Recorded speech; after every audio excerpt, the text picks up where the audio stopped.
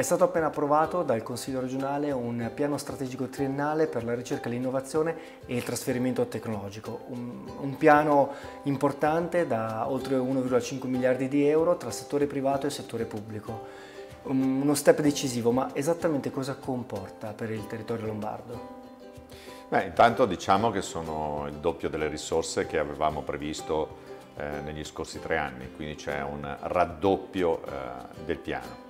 Eh, questo è un piano che si rivolge principalmente alla ricerca, all'innovazione, al trasferimento tecnologico, quindi a eh, tutte quelle invenzioni che poi vengono, eh, come si dice, messe anche a terra, cioè che poi dopo realizzano nuovi processi produttivi e quindi possono generare eh, volano economico, soprattutto occupazione. Quindi questo piano vedrà la prima attuazione nei primi mesi del 2022 con i primi bandi che usciranno. È importante perché tanto è stato approvato all'unanimità, vuol dire che tutte le forze politiche hanno eh, confermato eh, la validità e le tematiche del piano. Naturalmente investiamo molto su temi in cui la Regione Lombardia è forte e temi in cui la Regione Lombardia vuole diventare forte. Quindi pensiamo a tutto il campo del life science, eh, pensiamo alle scienze della vita, pensiamo anche a alla mobilità sostenibile, quindi quando parliamo di mobilità sostenibile significa automotive, significa eh, impresa, significa manifatturiero, significa eh, prodotti che possono essere eh, poi dopo realizzati sul territorio lombardo, così via via tutte quante le tematiche che poi ruoteranno intorno a questo piano e che possono rappresentare il volano di economia futura. L'8 novembre si è tenuta la quarta edizione della giornata della ricerca e um, i media si sono concentrati su questo evento, in particolare durante l'assegnazione del riconoscimento Lombardia e Ricerca a Pierre Joliot, a Marcella Bonchio e Marco Santonietti per, la, per il processo di creazione di energia pulita eh, dalla, dalla fotosintesi artificiale ispirata a dei meccanismi naturali. Ma cosa comporta esattamente per Regione Lombardia oggi assegnare un tale riconoscimento? Beh, intanto significa che Regione Lombardia un, lancia un premio internazionale, cioè dice ai ricercatori di tutto il mondo, eh, individuando una tematica, quest'anno abbiamo individuato la sostenibilità ambientale, che è un tema molto attuale ma anche molto ampio.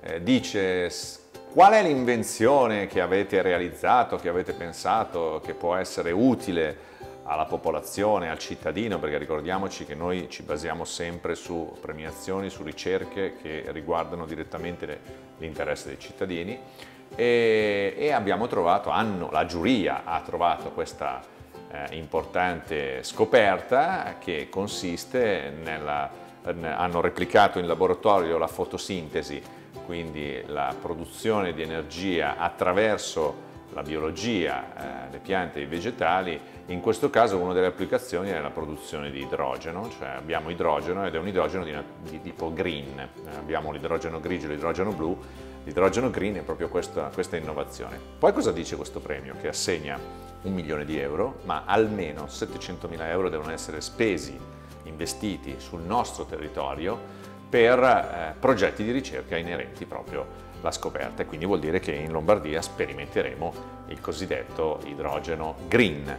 Eh, ci vorrà un po' di tempo per capire se arriverà la produzione e quant'altro, però mi sembra un aspetto molto innovativo. Eh, pensiamo a, a, a, ai tipi di alimentazione, ai tipi di motori, nel caso dell'automotive, che vanno ad idrogeno, quindi anche qui ci apprestiamo a fare un grosso sforzo di ricerca all'interno della mobilità, nel panorama della mobilità e all'interno anche dei tipi diversi di, eh, di, motorizzazioni e quindi su questo ci giochiamo una partita a 360 gradi. Cosa comporta invece per giovani ricercatori che magari valigia alla mano erano pronti ad andare all'estero per i motivi che conosciamo tutti, ma che invece si trovano forse un'occasione adesso davanti? Beh, intanto questo è un richiamo eh, ai ricercatori, perché assegnare un premio vuol dire portare qui l'apice di un tema di ricerca, cioè il ricercatore principale, che poi si avvale anche di tanti collaboratori, quindi già è un rientro, un'attrazione di cervelli, quindi il premio in realtà è un'attrazione di cervelli. Poi in sé mantiene, tra virgolette, i cervelli sul nostro territorio perché, eh, perché poi sulla, sui progetti di ricerca e sulle filiere cosiddette di ricerca tanti sono i ricercatori che poi collaborano a questi progetti. E abbiamo già avuto esempi di esperienze precedenti, cioè di assegnazione di premi precedenti che hanno comportato magari anche degli sviluppi in seguito sul territorio? Assolutamente, anzi uno dei premi ha contribuito a una ricerche particolari per combattere malattie rare e malattie eh, cosiddette di nicchia che altrimenti non avrebbero visto investimenti per, per inerenti alla ricerca su quello, cioè quella che viene definita a volte ricerca antieconomica perché riguarda eh, malattie che sono in pochi casi. Quindi diciamo che è una ricerca che non era partita da quello, quindi un premio che non, non andava specificamente su quello ma sul, sull'epidermolisi bollosa, in realtà poi dopo ha, ha comportato una, un risultato di fatto scientifico che si è trovata eh, una cura per due tipi di malattie, quindi eh, su questo produce assolutamente grandi risultati.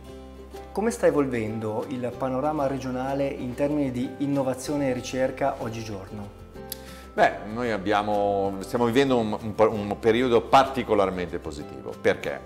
Perché intanto esiste un piano nazionale che eh, investe e poi c'è il piano regionale, come abbiamo ricordato, eh, che è un piano cospicuo. Abbiamo il doppio delle risorse rispetto agli anni passati e la strategia sarà questa, eh, innanzitutto prima avremo le risorse nazionali che arriveranno sul territorio e poi Regione Lombardia cercherà di essere complementare o cercherà di andare a prendere quelle aree che invece a livello nazionale non sono state coperte. Ecco, di fatto eh, ci saranno grandi investimenti sul territorio, eh, quello che dobbiamo essere capaci di fare è attrarre gli attori, cioè non basta fare un progetto di ricerca e investire, bisogna attrarre tutti gli attori. Chi sono gli attori principali nel campo della ricerca e dell'innovazione? Sono le imprese, le università e le istituzioni.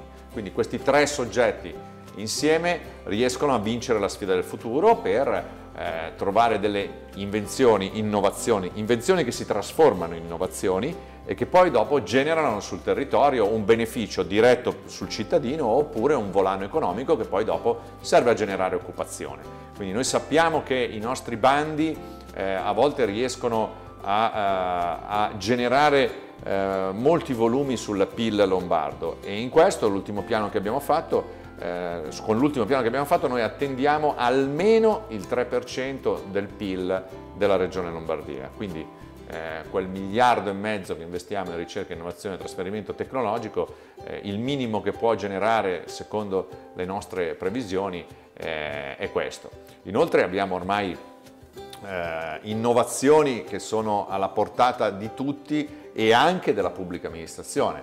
Pensiamo al progetto blockchain, noi abbiamo sperimentato la possibilità di, fare, di dare al cittadino eh, uno strumento molto utile, cioè fare domande semplicemente riempiendo un modulo elettronico dal proprio cellulare o davanti a un operatore. E chiediamo al cittadino di non presentare più nessuna certificazione, semplicemente di dichiarare a video, tra virgolette, eh, tutte le caratteristiche, il reddito piuttosto che le caratteristiche che fanno sì che possa beneficiare di un contributo. Avevamo fatto un po' di tempo fa un, una sperimentazione su un comune sul bonus nidi, ha funzionato molto bene, eh, abbiamo applicato questo sistema sulla dote scuola, ha funzionato molto bene, quindi eh, pian piano andremo avanti, le domande che si faranno Regione Lombardia saranno semplicemente in formato elettronico senza produrre nessuna certificazione, il nostro sistema riesce ad elaborare tutto, questo vuol dire che eh, sgraviamo la popolazione, le imprese, tutti i soggetti di un compito incredibile. E poi questo sistema ci viene copiato, ci viene copiato dall'Europa, ci viene copiato anche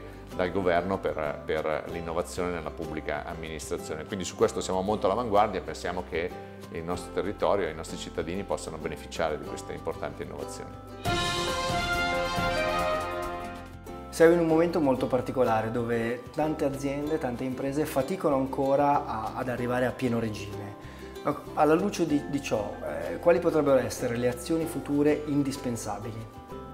Beh, stiamo facendo un gioco di squadra, un gioco di squadra con il governo, con le università, con eh, i rappresentanti, le associazioni di categoria delle imprese perché eh, noi avremo un investimento molto molto importante nei prossimi mesi, nei prossimi anni, che è il piano nazionale eh, che vedrà impegnate anche le regioni eh, come registi di, delle, delle, operazioni che poi dopo si svolgeranno sui territori. Beh, sulle deleghe che riguardano il sottoscritto, eh, l'ammontare nazionale è 30 miliardi di euro. Eh, se la Lombardia rappresenta il 22% del PIL, sono presti fatti i calcoli per, per capire eh, cosa potrebbe potenzialmente arrivare in Regione Lombardia. Ma oltre a questo investimento di denaro ci sono anche delle riforme importanti che, eh, che, vengono, che accompagnano questo investimento. E in più c'è l'azione della Regione, insieme a tanti attori, per rendere proficui questi investimenti. Quindi eh, ci saranno settori che avranno una grossa mano, ci saranno settori che voleranno, però dobbiamo dire che ci saranno anche settori che cambieranno perché eh, le crisi e anche la pandemia in questo eh, lo è stato, portano una modificazione, portano una modificazione nei comportamenti delle persone, portano delle modificazioni economiche. Quindi cambia il comportamento delle persone, cambia anche il panorama geopolitico, pensiamo anche al tema delle materie prime che sono difficilmente eh, recuperabili in questo periodo. Questo comporterà alcune modificazioni nel nostro modo di produrre, nel nostro, modo di, eh, nel nostro sviluppo economico. Quindi eh, di fatto eh, siamo davanti a un periodo molto molto positivo. Il nostro compito è quello di riuscire a equilibrare questo sviluppo a tutte le categorie delle persone e indirizzare finanziamenti dove poi possono creare maggior benessere sia sociale che economico ai nostri cittadini. A livello di occupazione, quindi di posti di lavoro, tutti questi cambiamenti, tutte queste innovazioni, quanto potrebbero mettere a rischio interi settori? Eh, i, i, posti di lavoro sono a rischio quando si cambia se non c'è un, un investimento adeguato sull'orientamento e sulla formazione, perché accanto a un settore che si spegne ce ne sono tanti che si aprono. Quindi da una parte la crisi significa cambiamento, quindi la parola crisi è composta da due caratteristiche, da una fase negativa che è la, la diminuzione di produzione in un settore a una fase positiva che è l'aumento di produzione in un altro. Noi sappiamo peraltro che eh, insomma, ormai è acclarato e da più voci arrivano anche dal World Economic Forum che eh, il 65% dei ragazzi che oggi fanno la primaria alle scuole elementari faranno un lavoro che oggi non esiste. Quindi è chiaro che l'orientamento e la formazione diventano di vitale importanza ed è per questo che noi e il governo investiremo moltissimo in questo settore. Quindi oggi la persona che si occupa, che ha una certa mansione in un certo settore, domani avrà sicuramente una mansione diversa nello stesso settore o in un altro. Non solo, ma il giovane che esce dalla scuola deve trovare direttamente eh, il, il, il, il contatto con l'azienda. Per fare questo finora si sono portati giovani all'interno delle aziende con diversi eh, diverse operazioni come l'alternanza scuola-lavoro. Eh, quello che abbiamo intenzione di sperimentare dal 2022 sono le aziende che entrano all'interno della scuola ed è il sistema più innovativo che esiste. Ne abbiamo parlato in diversi convegni, anche importanti a livello internazionale, quindi penso che Regione Lombardia possa attivare questa forma di sperimentazione sulla formazione e sull'istruzione che possa garantire un orientamento adeguato e una formazione adeguata ai, ai giovani. L'orientamento è importante, perché accompagnare i ragazzi verso la scelta degli studi e del lavoro futuro è importante. Noi oggi pensiamo di accompagnare i ragazzi sulla scelta degli studi, ma dobbiamo anche far capire ai ragazzi che quegli studi implicano poi determinati lavori. Quindi l'idea di fare un orientamento anche sul lavoro ai giovani, insomma, penso che sia molto molto interessante e soprattutto utile loro. Parliamo di Brianza, eh, di recente lei ha definito eh, la Villa Reale, il parco e l'autodromo di Monza una sorta di Cape Canaveral per far decolare le imprese dei giovani. Ma in che modo e in particolare con quali risorse si può riuscire ad attuare un piano di simile portata?